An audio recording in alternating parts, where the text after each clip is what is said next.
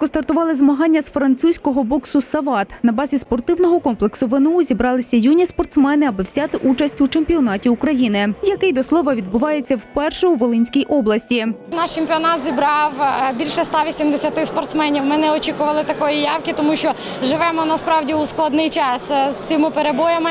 Але українці сильні, наші спортсмени сильні. Переможці цього чемпіонату формуватимуть збірну України на наступний рік у міжнародних змаганнях. Там є два розділи: жорсткий контакт комба та легкий контакт АСО. Загалом цей спорт відрізняється від таких бойових мистецтв, як карате чи кікбоксинг, особливою технікою ударів, кулаками та ногами. До спортивної форми сават належать боксерські рукавиці, взуття і так звана інтегральна форма, тобто повний спортивний костюм. Колись 300 років назад е, французькі моряки в Марселі придумали такий вид спорту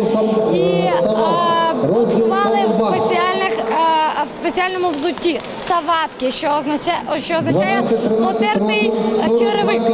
І від цього е, пішла назва сават, французький бокс. Учасники змагань спортсмени віком від 7 до 12 років. Також у наступні дні боротимуться й дорослі боксери. Юні ж бійці розповідають, що для цього спорту потрібні хороша фізична підготовка, витримка й особлива боксерська влучність. Якщо ви займалися до, е, до боксу чимось, то буде легко. Якщо новачок, то буде важко. Я навчився боксувати добре. Ну, перший бій програв, а другий постараюсь виграти. Я тренуюся вже три роки, мені 10 років. і Я хочу стати чемпіоном світу, як наш тренер. У тебе вже є медаль за перше місце, так? У мене вже багато медалів є. З, з 10 е, штук є.